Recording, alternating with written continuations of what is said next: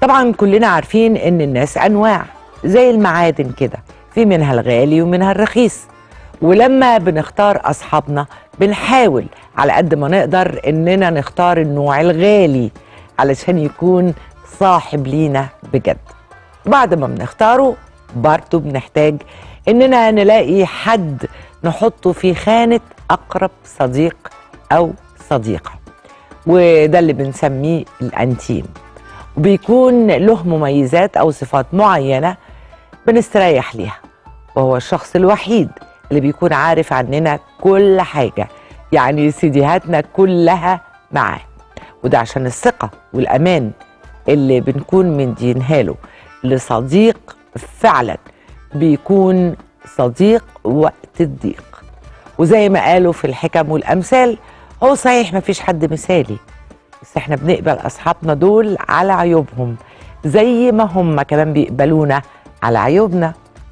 وبيكونوا قريبين مننا وبنحكي لهم على تفاصيل ومشاكل حياتنا سواء بقى للفضفضة أو للاستشارة أو حتى من باب الرغي. بس على فكرة بقى أنا شايفة إن لازم يكون في حدود. يعني مش كل حاجة تتقال ومش كل حاجة تتحكي. في حاجات ممكن أقولها وحاجات لأ مش ممكن تتقال. مش عشان هي وحشة ولا هتفضحني بس كل بيت وليه أسراره وخصوصياته. وعلى فكرة من أجمل الحاجات اللي في الدنيا هي الأصحاب. هم سندنا دايما في أي مشكلة والحضن اللي بنرجع له بعد أي تجربة فاشلة. والناس اللي بتواسينا في مشاكلنا وبيرفعوا معنوياتنا. بصراحة الدنيا من غير أصحاب ولا تسوى. ولازم كمان ما نحكمش على أصحابنا بإحساسنا الشخصي بس لأننا أوقات بنحكم غلط لمجرد أنهم خلفونا الرأي اللي إحنا حابينه. والصديق الصدوق هو بس اللي يدلك على الخير والصح ولو حتى كان عكس رغبتك.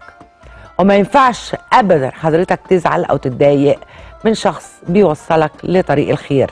بالعكس أنت المفروض تفرح تفرح بحاجة زي دي جدا. صاحب واحد نافع أحسن من عشرة ملهمش أي فايدة. وعلى رأي المثل الصاحب ده عامل زي الأسانسير أما بياخدك لفوق أو بيسحبك لتحت. وكمان الصداقة مش معناها إننا نقعد مع بعض وقت طويل وخلاص لا. الصداقه هي إننا نحافظ على العهد. كل حاجة بينا حتى لو طالت حتى لو طالت المسافات أو قصرت أوقات بتمر الصداقة زي الحب كده بأزمات كبيرة. والإخلاص هنا إننا ما ننساش اللحظات الحلوة اللي عشناها مع أصحابنا حتى لو حصلت مشكلة أو موقف معين لأن التسامح أساس الصداقة. والحب الحقيقي هم للأصحاب الحقيقيين. دول كنوز غالية.